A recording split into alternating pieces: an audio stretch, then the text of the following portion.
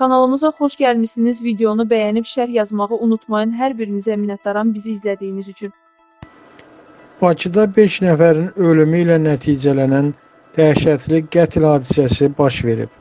Məlum olub ki, qətli törədən şəxs ailənin üzvlərindən biri olub.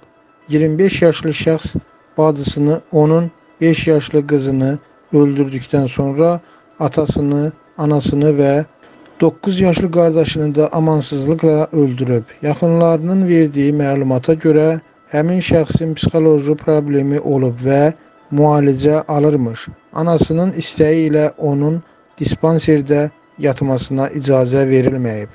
Hətta ona avtomobil alıblar ki, taksavatlıq eləsin. Bir ailənin 5 üzvünün bir gündə dəhşətli şəkildə öldürülməsi əsl faciədir, fəlakətdir. Hələ öldürülənlərin arasında 5 yaşlı körpənin olması başqa bir müsibətdir.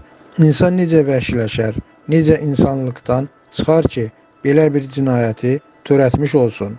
Bütün bunlar ayrı bir dərddir. Əsl təcrübli olan budur ki, belə xəstəliyi olan bir insanı müalicə edən həkim onu necə psixiatriya xəstəxanasına yatırmayıb.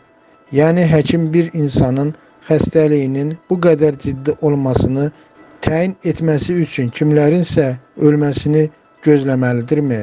Belə insanları cəmiyyət içərisinə buraxmaq təhlükəli deyilmi?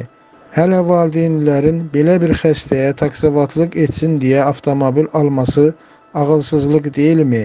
Həkimləri kənara qoyaq.